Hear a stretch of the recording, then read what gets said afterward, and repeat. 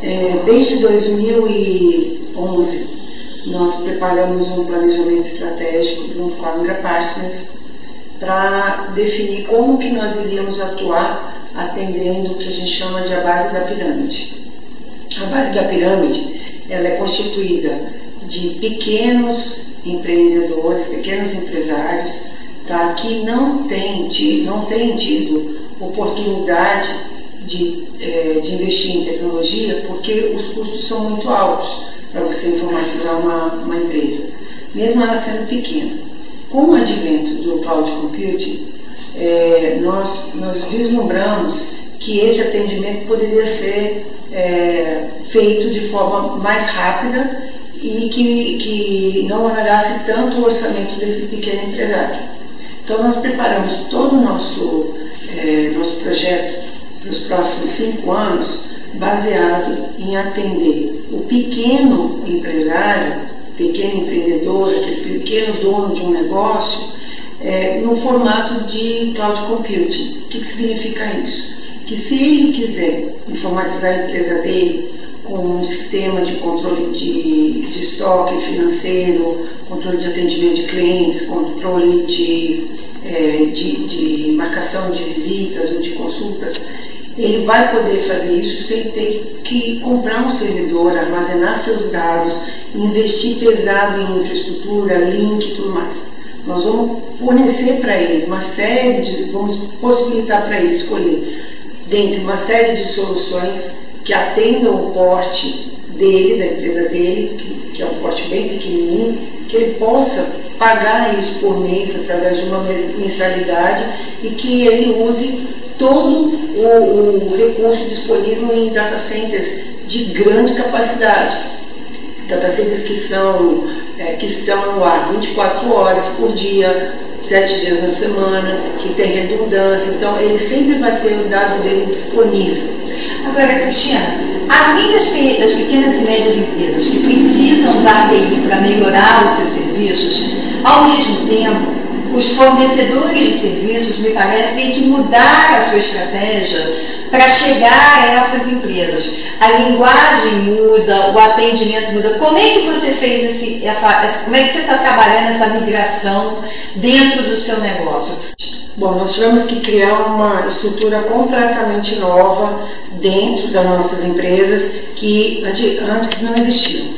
Por exemplo, nós só trabalhávamos com vendas diretas. O que, que significa isso? Significa que você tem uma cadeia de vendedores júnior, vendedores sênior, diretores de vendas que tem uma carteira limitada de clientes que visita presencialmente, que ter aquele relacionamento quase que constante, quase que exclusivo. Poucos clientes para contactar com um, uma pessoa dentro da empresa da área comercial, da área técnica e tudo mais.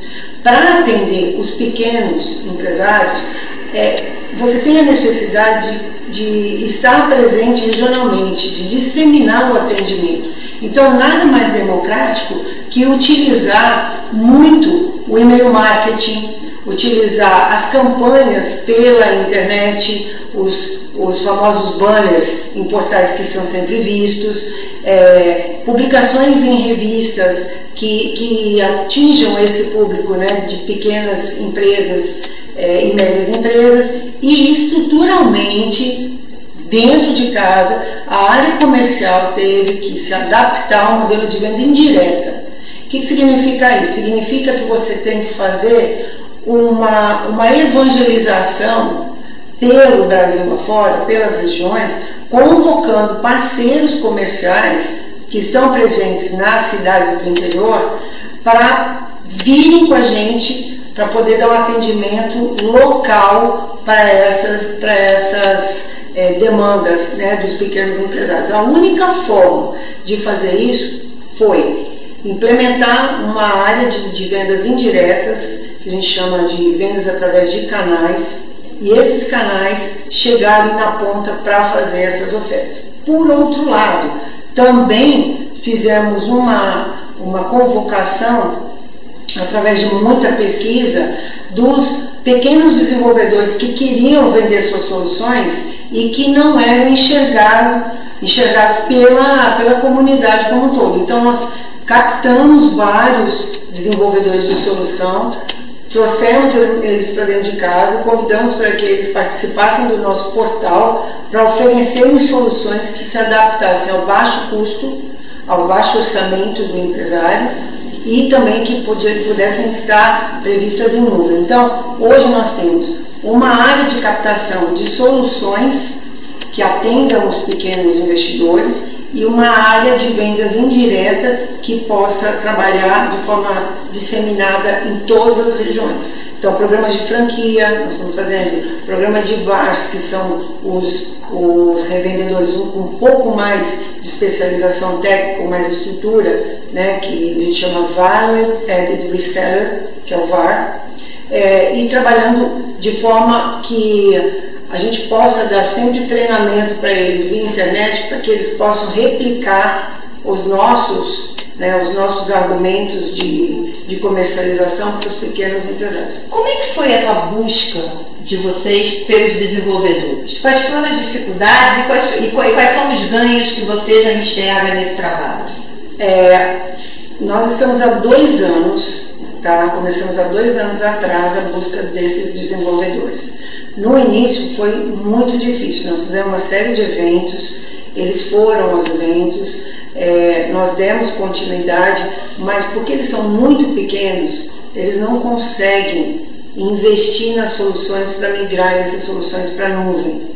Então, nós trabalhamos também um outro produto para facilitar isso para eles, chamado SDK, onde eles possam plugar o que eles fizeram com a tecnologia de nuvem para ela poder ser ofertada no, no site. Tá? Então, como eles foram é, perdendo, vamos dizer assim, a capacidade de investir, nós tivemos que dar isso para eles, essa ferramenta, para que eles voltassem. E a outra coisa é que realmente a gente utiliza ferramentas de busca para chegar num grupo de soluções entrar, nós temos que entrar em contato com todos eles, peneirar quem tem condição, se eles não têm, a gente tem que ir onde eles estão, testar os aplicativos, e aí sim, depois que tudo está adaptado e, e, e, está assim de forma é, adaptável à, cloud computing, aí nós colocamos ele para dentro do nosso portal. Então, é um trabalho de muita gente, muita equipe, é muita dedicação para poder selecionar o que, o que pode realmente ser usado. Além disso, nós estamos investindo em alguns deles, realmente comprando participação nessas empresas para que eles tenham é, capacidade de crescimento. Esse é o caminho para o mercado de TIC no Brasil, apostar nas startups? Eu acho que é mais do que isso até. O apostar na startup significa você renovar o seu negócio. Porque as empresas, do jeito que elas estão hoje, elas vão durar pouco, elas têm que se modificar. E para se modificar tem que conviver com gente nova, gente que está fazendo de, de, forma diferente. Tá? Hoje você vê que desenvolver uma app, um application, é diferente de você desenvolver um sistema corporativo. Então, o formato é totalmente diferente. Então, você tem que conviver com aquilo, com aquilo ali que é novo, trazer para dentro de casa essa, essa convivência, vamos dizer assim, para poder né, incentivar os outros a pensarem diferente. Então, é realmente um conflito. Dentro desse modelo, como é que você está enxergando o ano de 2013 para o mercado de TI no Brasil? Quais são as suas perspectivas? Quais são as suas dúvidas com relação a esse mercado em 2013? O ano passado, eu verifiquei assim que poucos clientes é, queriam apostar na nuvem. A gente fez até uma, uma divulgação disso, né? Todo mundo quer, mas ninguém quer começar. Né? Eu acho que tanta coisa aconteceu em 2012, tantas ações de várias empresas como a nossa, né? Tentando mudar o pensamento, que em 2013 isso está bem diferente. Eu acho que está começando a aquecer. Por exemplo, clientes buscando é, data centers terceirizados. Isso tá, a procura aumentou muito. É, as empresas não querem mais, a gente está falando de empresas médias e grandes, as empresas não querem mais manter um custo fixo maior do que um custo que outsource, de outsourcing. Então antes eles tinham medo, eu vou pagar mais caro, mas vou ficar com tudo aqui dentro de casa, a chave é minha, eu faço o que eu quero e tal. Hoje ela já tem confiança que se passar isso para um data center de confiança terceirizado é, e pagar menos, vai melhorar o resultado operacional dela. Então ela está indo para terceirizar. Então, muita procura de host, data center e SaaS, SaaS, o software as a service, é, já é uma coisa que está tá descomplicada na cabeça do pequeno investidor. Ele está comprando. O grande ainda não, não tem formato para ele, porque é comprar via boleto, um cartão de crédito, não é isso uhum. ainda. Mas o pequeno já está indo. Sim. E como é que se enxerga para as grandes empresas, porque a, a, sua corporação, as suas empresas trabalham com as pequenas, com as médias e com as grandes. Uhum. Para as grandes empresas, quais são as oportunidades que você enxerga em 2013? As grandes empresas, você diz a gente atender as grandes empresas? Sim, é isso que eu estou te falando. Está vendo uma, uma movimentação de compra mesmo agora. Não só de aprendizado de como é que pode ser comprado um hosting, um colocation, ou um NOC, ou um service desk, né? não, é, não é mais agora... A resistência foi quebrada, quer dizer, o CIO começa a enxergar que ter um serviço terceirizado não significa que ele não tem o controle do que está sendo feito. Exatamente. O controle, a qualidade o menor custo. Ele já considerou isso realmente no ano passado e esse ano ele já está comprando assim. Então, é, isso é uma, uma roda que vai, é, vai girando cada vez mais rápido e mais empresas vão entrar e mais data centers vão, vão estar disponibilizados para fazer esse atendimento. Né? O mercado de TIC está com um olhar muito virado do governo. Entendeu? O governo tem feito ações, teve a desoneração da folha de pagamento, você está vendo muita aposta em inovação. É, essas medidas, você acha que vão abrir mais o mercado? Como é que você está vendo isso? É, eu estou vendo com ótimos olhos, porque eu tenho visto o governo mais moderno para decisões de, de de contratação dessas empresas é, que ofertam de forma diferente. Tá? Então, hoje o governo já está apto a comprar é, recursos de desenvolvimento de software através de fábrica de software, exigir SLAs, não existe mais compra de body shop. Né? Hoje ele já está comprando serviços gerenciados, que é uma coisa que ele só fazia internamente. Então, serviços gerenciados de infraestrutura está terceirizando com segurança garantida, com né, uma série de SLAs envolvido também.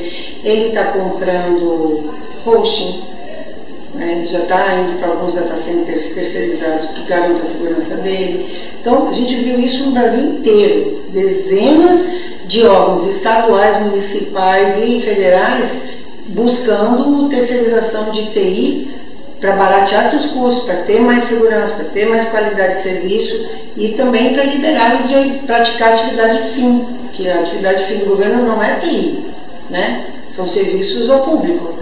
Então eu, eu tenho gostado do, dos movimentos. Sim. Dentro da, do seu radar, o que, que você diria que vai ser o, o grande negócio e onde as, as empresas vão brigar com o market share em 2013? Ah, eu acho que é atender as pequenas empresas. É, não, todos vão brigar. Como que vão chegar e ganhar esse naco de mercado chamado pequenas empresas? Isso são todos os grandes que estão tentando. Isso depende de agilidade, criatividade e gente nova.